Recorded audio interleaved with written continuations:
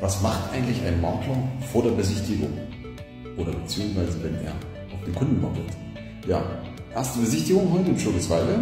Ja, man geht nochmal das Exposé durch, guckt nochmal die Kerndaten durch, damit man aussagekräftig ist und damit man ja, dann auch ein gutes Gefühl vermitteln kann vor Ort. Darüber hinaus begeht man nochmal die Immobilie, guckt nochmal alle Räume, ist denn alles auch in Ordnung und lüftet vielleicht gegebenenfalls nochmal durch und guckt, irgendwo Fragen auftauchen könnten, die man ja, beantworten müsste und dürfte.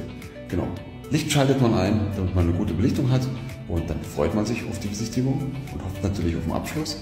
Und so sieht's aus vor der Besichtigung und wie es danach aussieht, wissen wir danach.